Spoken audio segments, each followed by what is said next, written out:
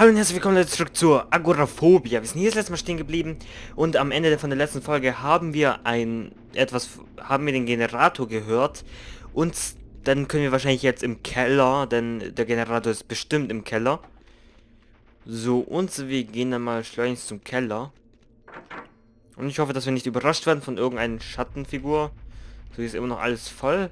Da steht bestimmt immer noch überall dasselbe drauf. So, der Keller war ist Licht. Können wir Licht anmachen? Nichts passiert. Okay. Können wir nicht, also gehen wir dann mal zum Keller. So, und da kommen wir auch durch. Okay, ich... Okay.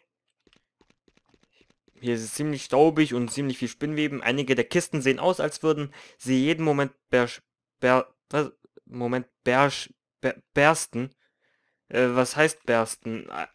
I, don't know. Okay, die werden bersten. Ein defektes Radio. Da oben ist eine Kiste.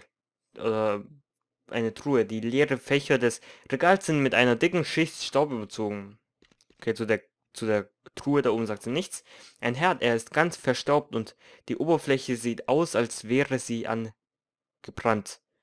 Oh fuck, äh, ich weiß nicht, ob ihr es gerade in der Aufnahme gesehen habt, aber ein, ja, eine Nachricht von Clean Master kam, äh, von C-Cleaner kam gerade in Bild. Aber gut, ein Herd, ja, er ist ganz verstaubt, die Oberfläche sieht aus, als wäre sie angebrannt. Okay, aber wir speichern erstmal. So. Gut, da haben wir einen Haufen Fässer, drei große Fässer, ein ätzender Gestank geht von ihnen aus. Untersuchen. Sie haben dem Gestank nachzuurteilen einmal Benzin enthalten. Allerdings sind sie nun vollkommen leer. Okay, leere Fässer nützen uns nichts. Leere Fässer mit Spinnweben überzogen. Lecker. Ist, ist bestimmt sehr lecker. So Fässer mit Spinnweben überzogen. okay, keine Ahnung, was ich hier laber. Da haben... Hallo, da haben, was sich auch immer einst in diesem Beutel befand. Es ist zu Staub zerfallen. Okay, dann irgendein Eimer. Ein vollkommen durchgerosteter Eimer. Damit Kisten, einige schwere Holzkisten. Sie sind zugenagelt und sehen sehr alt aus. Alte, altes Geschirr teilweise zerbrochen. Der ganze Schrank ist damit gefüllt. Das war gerade creepy. Das muss ich dem Spiel lassen. Verschlossen. Das war eindeutig eine Tür. Die kam von da unten rechts irgendwo, das Geräusch. Also wie creepy hier ist. Hier ist keine Musik, nichts. Einfach nur creepy. Was haben wir? Seiten aus einem Notizbuch. Sie wurden herausgerissen und teilweise sogar geschwärzt. Ansehen. Archeolo 1929 BT. Ähm, I don't know, aber sicherheitshalber, um sicher zu gehen, schreibe ich einfach mal 1929 auf, falls wir es irgendwie brauchen. Ich weiß ja nicht, ob wir es brauchen, deswegen machen wir. Nachdem er auch am Fieber erkrankte, stand alles kurz vor dem Zusammenbruch. Der namens war schon kurz davor, seine Sachen zu packen. Also da, wo die Striche ist, wurde geschwärzt mit äh, irgendwas durchgestrichen, dass man es nicht lesen kann. Mit so einem Schwarz. Doch alles, doch all das Blut und die Tränen und wie es, es hat zu uns Mhm. Und sogar Arthur hörte, ich werde das in meinem Leben nicht vergessen. Okay, wir, wir, also Arthur und ich haben uns entschieden, wir werden es in die Heimat mitnehmen, um es weiter untersuchen zu können. Das kann uns so viel erzählen, uns so viel zeigen, sagt er, er habe Kontakte zu mhm, und anderen Gruppen, die sich darauf spezialisiert haben. Wir können jetzt noch nicht aufgeben. Ich hoffe, du verstehst, dass in Gedanken an dich B. Mhm. Bumm. ja, bumm. Okay. Ja, da. Das Spinnrad ist über ist über und über mit verstaubten Spinnweben überzogen. Der Boden des Eimers ist durchgerostet. Ein stinkender braune Masse ist überall im Inneren des Eimers zu sehen. Ich speichere nochmal. Ups, ähm. Ich habe gerade wirklich Angst. Zum ersten Mal im Spiel habe ich, ziemlich, hab ich ziemlich Angst. Eine Reihe staubiger Gläser in einem In einigen befinden sich vertrocknete Pflanzen. Da ist Blut. Cool. Eine Notiz. Der Generator ist schon wieder ausgefallen. Das vierte Mal in diesem Monat. So langsam sollten wir jemanden bestellen, der das Ding repariert. Es mag zwar nicht das zuverlässigste Stück Technik sein, dafür ist es aber äußerst sparsam. Ich habe herausgefunden, dass er sogar mit hochprozentigem Alkohol läuft. Wahrscheinlich ist das sogar der Grund für die häufigen Ausfälle. Der läuft also mit Alkohol, müssen wir jetzt Alkohol herkriegen und den zum Laufen bringen. Der Generator steht still, von außen kann man nichts er nicht erkennen, ob er defekt ist. Hebel betätigen, den Fühlstand überprüfen, in, in das Innere sehen. Erstmal nichts machen, wir speichern sicherheitshalber. Wir wissen ja nichts, was auch da auf uns wartet. Okay, Hebel betätigen. Nichts passiert. Ähm, den Füllstand überprüfen. Der Tank des Generators ist leer. Okay, wir müssen den wahrscheinlich mit Alkohol oder so auffüllen. In das Innere sehen. Es sieht nicht danach aus, als wäre der Generator beschädigt. Okay, wir müssen da wahrscheinlich Alkohol oder so reinfüllen. Wahrscheinlich müssen wir in unser Ding. Ah, wir haben das Herz. Erbstück Mutters. Ostflügel, Schlüssel, Hilfen, Tante. Einmachglas, da müssen wir wahrscheinlich Alkohol oder sowas reinfüllen. Aber die Asche roch ja nach Alkohol oder so. I don't know. Speichern. Okay. Hm? Hm? Hm?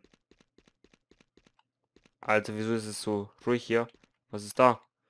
Eine alte, von Holz äh, zerfressene Kommode. Das Glas ist so schmutzig, dass man kaum hindurchsehen kann. Schnell hier raus. Hoffentlich ist da draußen wieder Musik. Ja, gut, hier ist viel Musik. Das gefällt mir sehr. Können wir Licht anmachen? Nichts passiert. Können wir hier Licht anmachen? Nichts passiert. Okay, man, wir können kein Licht anma mehr anmachen.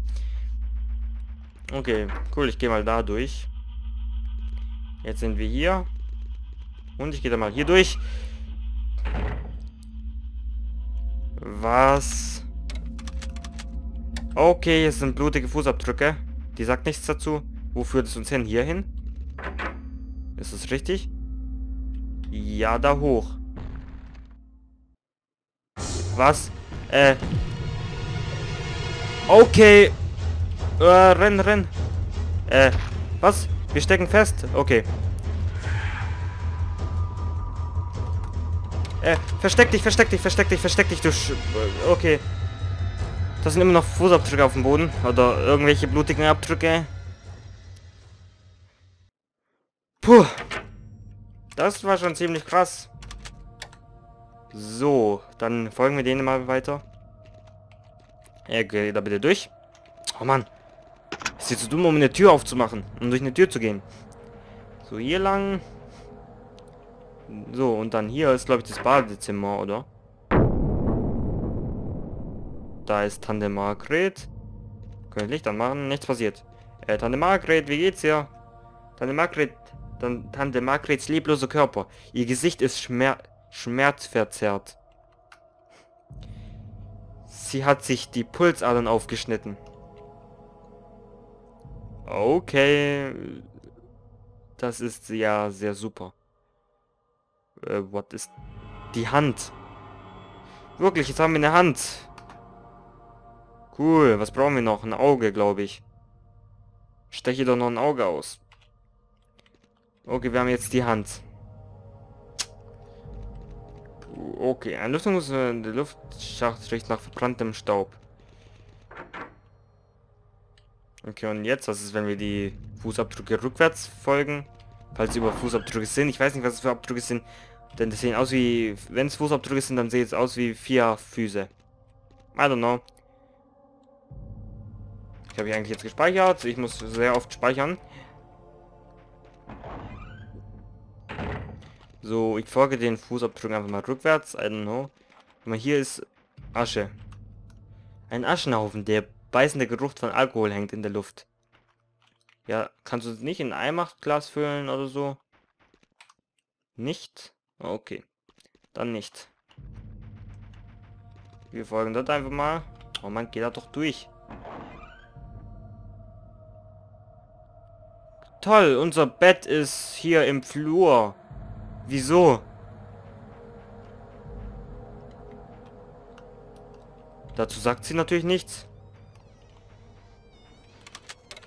Ich höre eine Tür.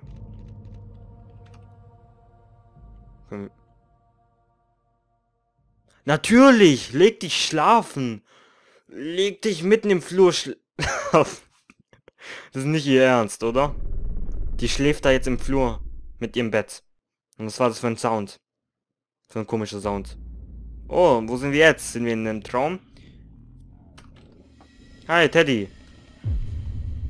Er schaut uns an. Und jetzt ist er weg. Boah, das sieht aus wie der Keller wieder. Da ist Blut an der Wand. Die verschmierte Zeichnung eines Mas ein, ein was? Eines Messers. Okay, ich dachte Masters steht da. Okay, ein Telefon. Ein Telefon, ne? Telefon, hör abnehmen. Bringt wahrscheinlich nichts. Okay. So, da haben wir einen Schrank, ein Möbel verstaubt und beschmiert. Sie sehen aus, als stünden sie hier schon seit Jahren. Okay. So, haben wir irgendwas nützliches? Nur sehe eine Reihe Möbel verstaubt. Okay, da steht wie das gleiche. Eine Reihe Möbel, okay, steht, ist, sagt überall das gleiche. Zwei verstaubte Felsen sind beide leer. Okay. Äh, was war da oben gerade? Nochmal speichern. Das sah nämlich ziemlich creepy aus. What the f... Uh! Fiona, du musst mir helfen. Mama, nein danke, ich will dir aber nicht helfen. Du siehst zu creepy aus. Uh, finde einen Weg. Ähm, Telefon, ich komme. Warte mal, ich bin, ich bin nicht so schnell. So. Hallo? Wer ist da? Ich verkaufe, ich kaufe nichts. Hallo? Sie warten auf dich, Fiona. Sie sehnen sich nach deiner Gesellschaft. Was? Okay. Okay, die sehnen sich nach meiner Gesellschaft. Das ist ja toll. So, aber ich glaube, da ist... Wir kommen nicht über den Teppich drüber. Halte dich an etwas fest. An was? Ich will hier rüber. Keinen Schritt weiter, mein Kind. Es wird immer roter irgendwie, wenn wir da das versuchen. Nein, was hast du getan?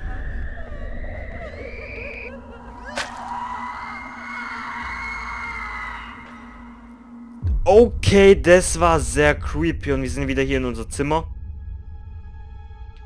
What the fuck geht hier vor sich? Wir sind wieder in unser Zimmer. Nice. Ups, ähm. Gut. Was jetzt? Können wir das jetzt in unser Einmachglas füllen? Ein Asch. Was? Wo sollen wir hin? Äh. Nein! Tschüss! Ich weiß doch gar nicht, wo ich mich verstecken soll.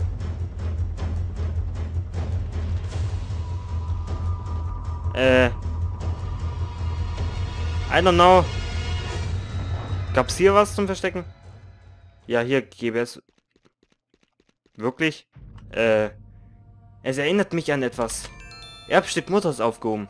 Noch wieder eins. Okay. So, der Ofen ist immer noch an.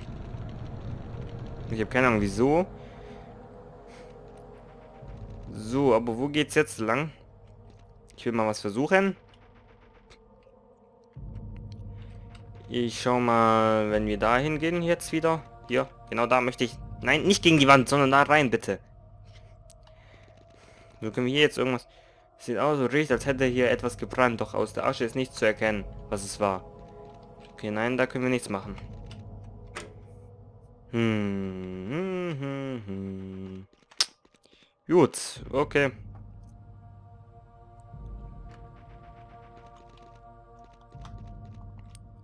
Ich gehe mal wieder hier lang. Liegt der Henning da eigentlich noch? Ja, er liegt da noch. Ah, und ich glaube, ja, ich glaube, der, der uns verfolgt hat, ist irgendwie das, der Geist von Herr Henning. Und hier sind auch wieder Abdrücke. Weil das sah ja aus wie Herr Henning. Deswegen habe ich mich gewundert, das sieht, dass das aussieht wie Herr Henning. Aber das ist, glaube ich, Herr Henning. Und er will nichts Gutes mit uns. Ist das Asche? Ah, haha, Asche in das Glas füllen. Was bringt es uns? Ähm, Einmachglas. Ein Einmachglas. Ich habe ein wenig von der Asche in das Einmachglas gefüllt. Okay, wir haben etwas Asche im Einmachglas. Und unser Bett ist hier nicht mehr. Ich möchte mal schon dahin wieder. Denn hier ist... Die Asche sieht etwas anders aus. Ja, okay, nein. Damit können wir nichts machen. So, wir folgen weiter den Fußabdrücken, denn das ist das Beste, was man machen kann. So, ich komme. Ich komme. So, ich habe irgendwie das Gefühl, der fühlt mich wieder, der führt mich wieder am gleichen Ort hin. Ja, das tut er auch gerade irgendwie. Die Fußabdrücke. Ich gehe da einfach mal wieder hin, okay. Schon wieder hier hin. Wenn da jetzt wieder die gleiche Szene kommt. Achso, der... Tante Margret, lebelose Körper. Okay. Pult an auf... Also ja.